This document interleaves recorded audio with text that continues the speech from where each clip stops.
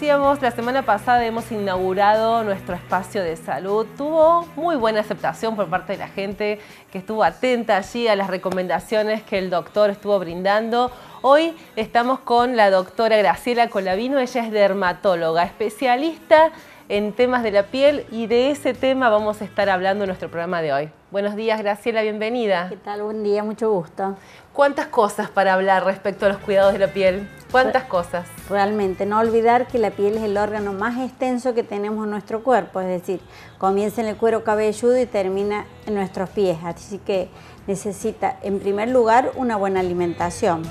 Es decir, eso es muy importante, consumir agua, más de 2 litros por día, las verduras, las frutas y en el caso de los adolescentes tratar en lo posible de evitar todo aquello como el salvado, el arroz integral, las cosas que tengan levadura como la pizza y la factura, los cereales, todo esto en exceso, se entiende, para evitar la formación de los puntos negros, de los comedones, que es la lesión elemental del acné lo del chocolate, la mayonesa, es un mito, la manteca. Así que, Pero qué buena noticia, llegamos a nuestro televidente, desmitificando el chocolate. Exacto. Es el salvado. Exacto, todo eso que nombré anteriormente sí es lo que debemos cuidarnos para este, adolescentes y no adolescentes, porque podemos tener granito hasta los 60 años, así que es este, tratar de evitar. Y por otro lado, una buena humectación, es decir, debemos humectar nuestro cuerpo, no solo la cara, no solo el rostro, sino el cuello, los brazos, las piernas, nuestras manos y este, por supuesto el uso del filtro solar todo el año. Eso es un detalle importante, ¿no? Porque por allí empieza a llegar la época en la que nos gusta tomar sol y recién allí eh, nos fijamos si nos quedó algo del año pasado, si está vencido o no, o vamos a comprar pero lo asociamos con el verano directamente. No, no, debemos usar el filtro solar todo el año, tanto en rostro como el dorso de nuestras manos, porque ellas están expuestos los 365 días del año. Eh, debemos usar filtro solar, que ahora existe por suerte una gran variedad, desde maquillajes con, filtro, con factor de protección hasta eh, filtros solares con color, sin color y para los varones que son bastante reticentes al uso de cremas y de filtros solares, han salido filtros en los cuales no tienen nada de grasa, es decir, que se lo pueden aplicar sin ningún problema, no les brilla la cara y, y sí están protegidos. Porque no solo el sol, también este, el, hecho de estar en el estudio, el hecho de, estar este, todo el día con nuestras computadoras, se ha comprobado que también nos hace daño. Doctora, ¿y este uso diario del filtro solar, eh, qué factores serían los recomendables para esta época del año?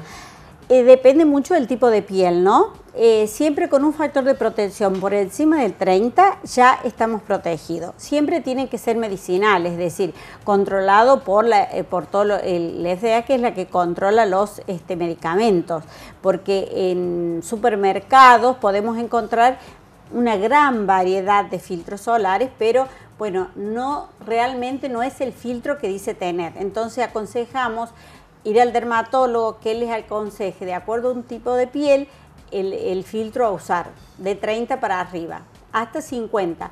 Ahora sea este para que haya no haya problemas a nivel mundial, todos los filtros es hasta 50 más. Los que hay algunos en el mercado que han quedado 60, 75, 99 son filtros anteriores a esta este que se quedó de acuerdo que fijen en 50 más este, son los que están en el mercado, que existen todavía. Pero ahora con 50 más ya estamos... 50 más ya sería el límite... El límite de, este, de, cualquier tipo de, protección. Exacto. Y otro tema, doctora, que tiene que ver también con lo dermatológico y que nos importa, tiene que ver con los lunares. ¿Mm? Sí, es muy importante. Por eso... El control, ¿no? Insisto en el filtro solar y en la aplicación de los filtros, sobre todo eh, siempre recomiendo a las mujeres de la rodilla para abajo, que son sitios que la gente no se pone filtro y asienta el melanoma, que es muy común en ese sitio, sobre todo en mujeres. Y hay que tener en cuenta los lunares. Los lunares tendríamos, aquellos que tienen muchos lunares, controlarlos antes que comience el verano y después, marzo o abril, después que termine el verano. Habitualmente los lunares no pican, no duele, no se sienten, solamente los vemos. Cuando aquellos lunares que tenemos en nuestro cuerpo aumentan de tamaño, son chatos, adquieren un aspecto más sobrelevado, o eran lisitos, se vuelven rugosos, o bien sus bordes, habitualmente los bordes de los lunares son bastante regulares, pero si esos bordes se ponen anfractuosos, es decir, con un zigzag o algo, son llamados de atención, o que nos piquen. Eh, eh, es decir, cualquier síntoma, cualquier este cambio en el lunar es un llamado de atención para acudir al médico. Eh, de todos modos, en los fototipos 1, es decir, son las personas muy blancas, de ojitos claros, yo aconsejo, y que tengan varios lunares, aconsejo que ir al dermatólogo una o dos veces al año.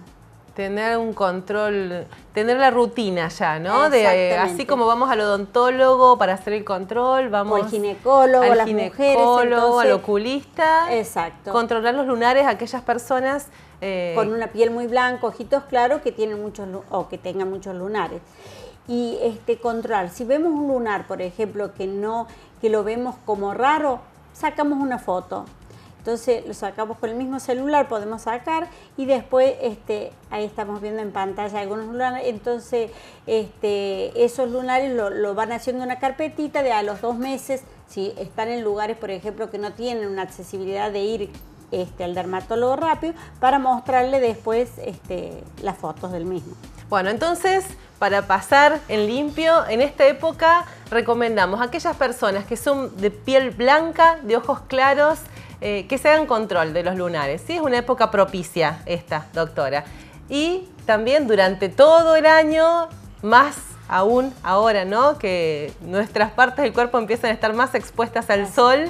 Eh, usar factores de protección. Y respetar los horarios de exposición. Bueno. Eso es muy importante, respetarlo porque eh, se toma sol antes de las 10 y media de la mañana y después de las 16. Por allí, como en estos días de sol más tenue, ¿no? Uno dice, no, a la siesta, si no. está tan fuerte todavía, no hace tanto calor, pero eso no tiene nada que ver. Y no usan filtro en esta época y el sol hace daño todo el año. Bueno, vamos a seguir charlando porque nos quedaron un montón de, temas para tratar. Doctora, muchas gracias. ¿eh?